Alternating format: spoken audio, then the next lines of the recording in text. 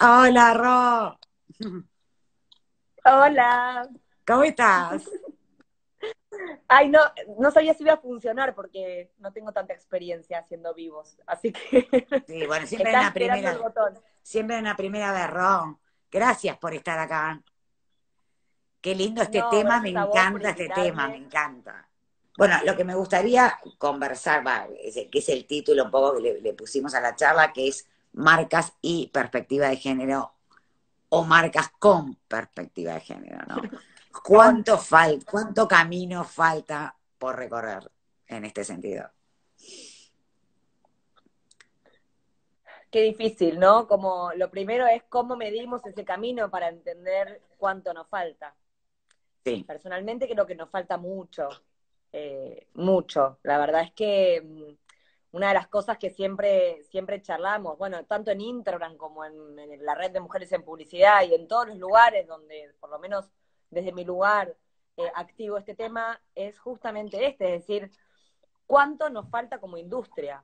Quienes trabajamos en, la industria de las marcas o de la construcción de contenidos eh, comunicables por marcas y por empresas, tenemos una responsabilidad enorme entre manos y lamentablemente no siempre esa responsabilidad está tan como, es tan consciente, ¿no?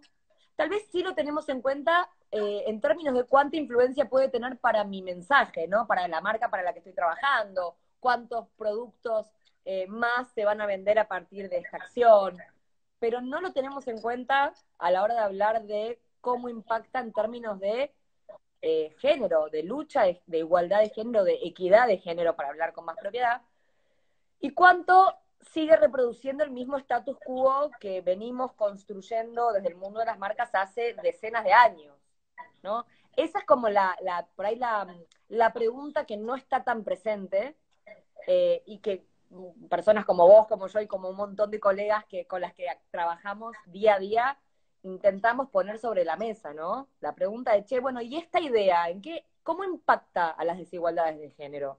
¿Me ayuda a reproducir el status quo o me ayuda a quebrar eso que tan importante es, ¿no? Que se, que se rompa, ¿no? Y que podamos desde las marcas mostrar otras realidades, mostrar que las representaciones de los cuerpos pueden ser otros, las relaciones entre las personas, entre las mujeres, ¿no? Eh, que podemos tener otro tipo de vínculos.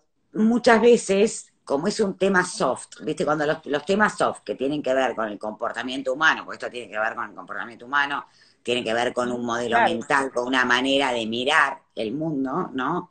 Que es este sistema cultural, que es este paraguas que, que, que- que tenemos permanentemente, que, que- que naturaliza el comportamiento, eh, que en realidad hay mucha gente que por pensar que tiene delante a una mujer, ya por ser mujer, per se tiene perspectiva de género.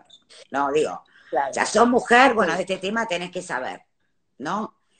Y, eh, y como es un tema de la agenda pública también, y está mucho presente en los medios, y eh, es como pareciera que, que, bueno, nada, como hay un equipo que tiene mujeres, bueno, como tenemos mujeres, ya el tema está resuelto y ellas saben. Y de repente vemos situaciones o vemos compañías o vemos reputaciones de marca, ¿no? De, o construcciones de marca, donde se les pasa un mono por adelante y no lo vieron porque justamente no tienen especialistas en el tema. Sí, eso se ve mucho y te digo que de, de el último año esta parte es uno de las grandes como warnings, ¿no? Es una de las alarmas que tratamos de poner siempre como muy, muy grande, porque, bueno, creo que también es, un poco parte de la búsqueda de la solución, ¿no? Digo, hemos tenido casos de marcas que, que ahora somos más conscientes, ¿no? Hemos tenido casos de marcas que realmente han cometido errores gravísimos y tal vez no se, no se dieron cuenta. Y no se dieron cuenta porque inclusive tuvieron esa instancia, ¿no? De decir, che, bueno, ahora somos todos un poco más conscientes o, o este tema está a flor de piel, ¿no? Como mm, esta idea por ahí puede tener como alguna contraindicación, mostrásela a las mujeres del equipo, ¿no? ¿Qué opinan las chicas del equipo? Y la verdad es que es un problema en muchos sentidos ese tipo de comportamiento. En primer lugar es un problema porque carga a las mujeres de una nueva carga, ¿no? Más allá de todo ¿no? todas las exigencias que uno tiene y además tenés que ser especialista porque solamente, digamos, sos mujer, naciste mujer o te reconoces como mujer, entonces de por sí, ¿no? Tenés un ADN que sabe detectar sesgos de género en una pieza de comunicación. Eso es un enorme error por parte de cualquier persona que lo haga. Hay muchas mujeres, digo, esto es un error en muchos sentidos. La verdad es que hay muchas mujeres que porque se acercaron a la causa, porque leen más que muchas otras personas, inclusive tal vez son ellas mismas las que se proponen, ¿no? Y está buenísimo. Pero bueno, yo siempre trato como de, tener como mucho cuidado con esas recomendaciones, porque la verdad es que es un tema, o sea, poder transversalizar una perspectiva de género a la hora de pensar una idea o analizar una acción de marca es, es algo que lleva muchísimo trabajo y ese conocimiento no se construye de un día para el otro. De hecho, todas las que trabajamos y todas las personas, digo, mujeres, varones que trabajamos en este tema, con mayor o menor trayectoria, digamos, hay como algo que pasa que siempre se trabaja en red, porque inclusive una persona que, puede trabajar en esto durante, no sé, llevan trabajando en esto 20 años, inclusive tiene sesgos. Entonces, es muy difícil poder salir de sesgos, ¿no? Entonces, digo, es muy importante no e, este tema tomarlo en serio. Digo, la, no puedes agarrar a la primera mujer que se te cruza y creer que tiene perspectiva de género por el solo hecho de ser mujer. Muchas compañías, como es un tema que tiene que estar en agenda, ¿no? Porque está en la Agenda 2030, porque hoy la compañía que no tiene este tema en agenda es como, ¿viste? Eh, tiene que tenerlo. Exacto, tiene que tenerlo. Es como que como tiene que tenerlo, hay como una especie de tic a, esto e intentan también eh, muchas veces comunicar desde este lugar sin saber hacerlo, ¿no? O sin tener la mirada de un experto y meten la pata, ¿no? Cuatro veces más. Antes de arrancar por un cambio cultural, que en realidad la, la primera cosa que tenemos que hacer es un cambio cultural, un cambio ¿no? de modelo mental para poder eh, modificar conducta, pues si no, en definitiva, el, sesgo se cuela igual, ¿no? Totalmente. De hecho, eh, de hecho el año bueno, el año pasado no, ya hace dos años que en Interbrand, que es la empresa donde yo trabajo y donde muchas de las acciones y de las ¿eh? tus vecinos, exacto, que seguimos siendo vecinos, por más que ahora estamos Unos, metros más lejos. Em, ahí hace, hace varios años, ya hace como dos o tres años que estamos como generando como este espacio de reflexión sobre marcas y perspectiva de género, ¿no? Hace dos años hicimos un proyecto de investigación que fue súper, súper, súper, súper enriquecedor para todas las personas que participamos. Básicamente empezamos preguntándonos cómo podemos ayudar a las marcas a sortear todas estas inquietudes, ¿no? ¿Por qué una marca no cambia? Si la sociedad lo está pidiendo, las audiencias lo reclaman, ¿no? Los mandos medios están recontra convencidos. ¿Qué pasa? ¿Dónde están los obstáculos? Hicimos más de 50 entrevistas a personas de directorio, ¿no?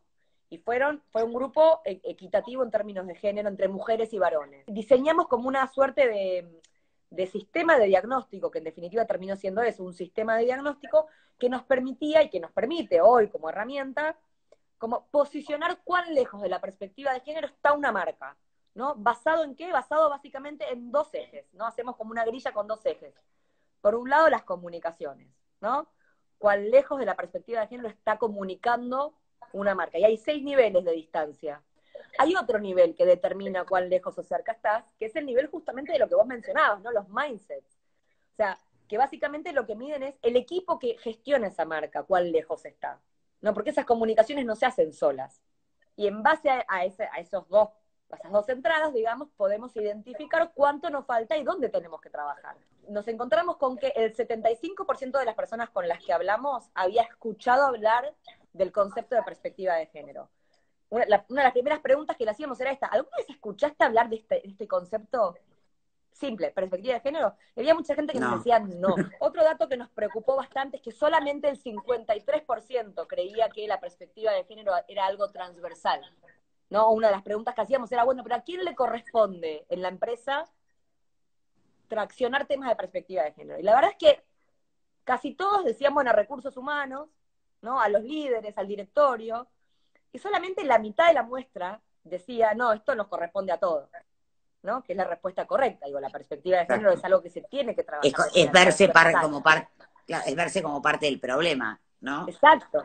El 90% de las personas con las que hablamos, o sea, casi todas las personas con las que hablamos, veía que el tema era prioritario y que las marcas tenían un rol, ¿no? Estaban preocupados y preocupadas por el rol de sus marcas.